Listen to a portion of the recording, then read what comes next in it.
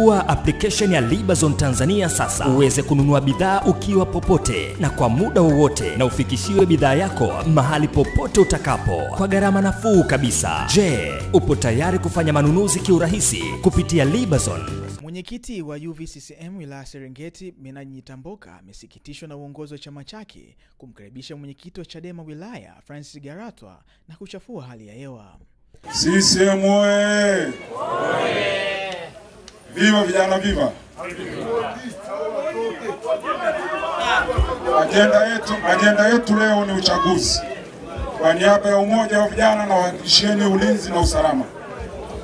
Lakini ndugu mwenyekiti, mimi kama mwenyekiti wa vijana nimesikitishwa kwa mwaliko wa mwenyekiti wa Chadema wa wilaya ambaye usalamu wake si sahihi sana kwa naye.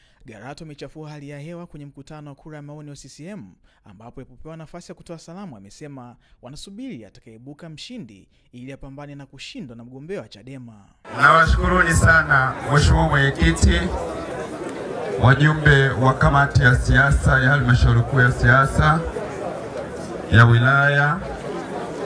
Mtaniwia lazi kidogo, itifaki za uongozi wa chama chenu sijazielewa vizuri.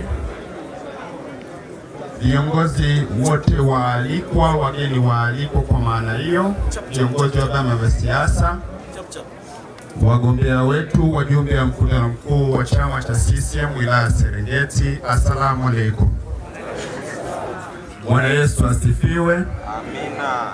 Naitwa Francis Garatwa, ni mwenyekiti wa Chadema wilaya ya Serengeti na ni diwani wa kata ya Nyasurura.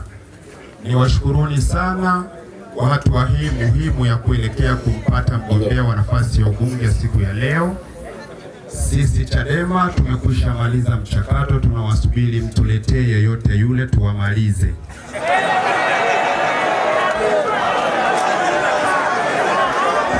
Wito wangu kwenu, Haya, naenda kumalizia, naenda kumalizia. wito wangu kwenu, wito wangu kwenu, Chadema kama chama kikuu cha upinzani nchini tunaendelea kufuatilia mchakato wa kura za maoni ndani ya Chama cha Mapinduzi. Anaenda kumaliza, anaenda kumaliza. tangu siku ya jana. Tumeona mchakato wenu umekuwa wa huru na haki. Tunaendelea kusisitiza mchakato wenu Asante sana. utende haki kwa vyama vyote kwenye uchaguzi mkuu unaofuata wa tarehe Asante, 28 Oktoba, uwe huru na haki. Subscribe Mwananchi Digital.